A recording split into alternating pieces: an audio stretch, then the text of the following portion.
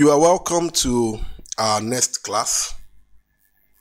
And today's class, lesson note 4, we'll be treating the topic classification of foods into constituents and nutrients. My name is Dr. Aisagbonhi Henry, and I believe that you are prepared for this class. It's going to be an interesting one. Just like this lady on the screen, I expect you to take notes. I expect you to listen carefully and enjoy the class. Remember, if you have any question, type your questions on the Google Classroom uh, comment section and then we'll take it up from there. Don't forget, it's very important. Okay, classification of foods into constituents and nutrients. And so in this class today, we'll be seeing the different classification of foods and we'll be talking further on them. And so we'll be seeing water, the macronutrients and the micronutrients, and then we'll be seeing the non-nutrient components as well. So let's start quickly so that we finish on time and you can take your time to do further um, checks or research using your textbook.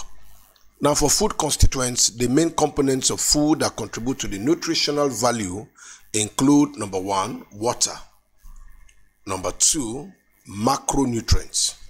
Number three, micronutrients. And then you have the non-nutrient component. So let's go back and discuss them. I have told you the importance of water in the last class. And we said the sources, we talked about the structure, uh, its importance in the system. One major importance in the system is that it aids digestion. And in the case of hydration, it plays a major important role. And indeed, the cells need water. Now, water is vital, like I've said, and it helps to transport nutrients from one point of the body to another. We also have macronutrients. What are macronutrients? We have said these are nutrients that are needed in large quantity, in bulk, for the system on its daily basis or routine needs.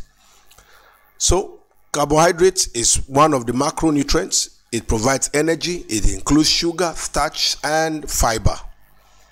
Under the macronutrients, you have the protein, which I told you the last time is essential for tissue growth, repair, enzyme production, and they consist of amino acids, some of which are essential and cannot be synthesized by the body.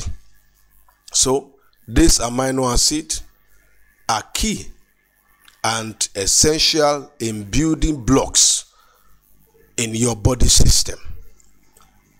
This is so key because the body cannot synthesize some of these um, essential uh, nutrients.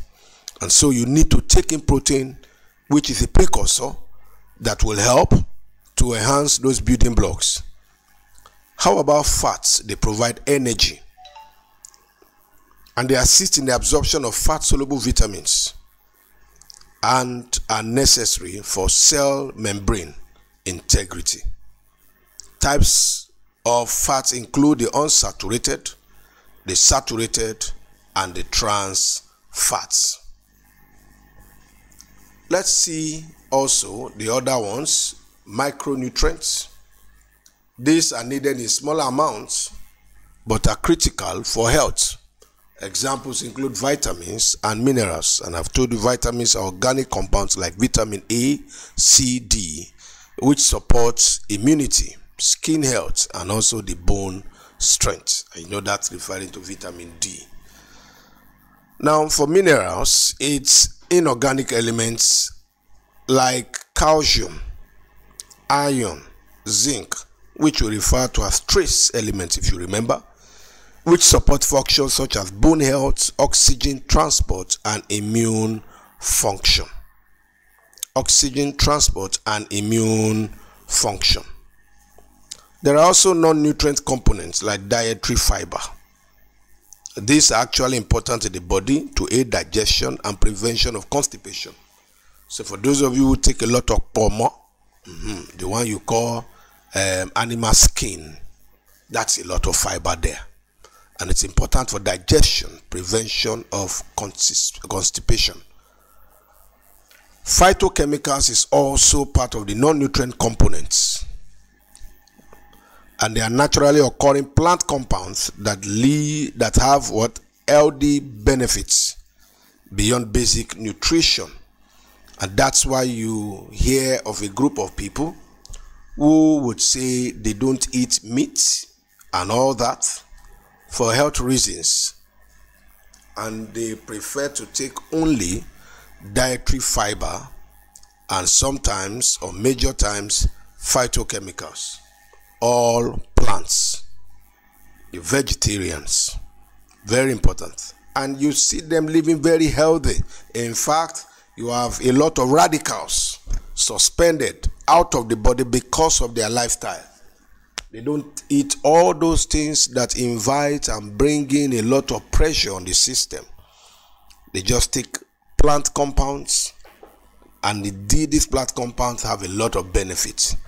You can read more about it uh, when you search for um, vegetarian uh, lifestyle uh, you will know about them, what they eat, and so on. And probably you find it fascinating. So it's important that you are aware about that. So that's all for this class classification of foods into constituents and nutrients. I expect you to read up. I expect you to take up your textbook. It's a very short class. This is the essentials that you need to know. But also, you should add more by taking up your textbook and then you read more about carbohydrates, proteins, and fats, understand more about macronutrients as well as macronutrients. I'll see you in the next class. And in the next class, we'll be talking about metabolism, digestion, absorption, and utilization of nutrients.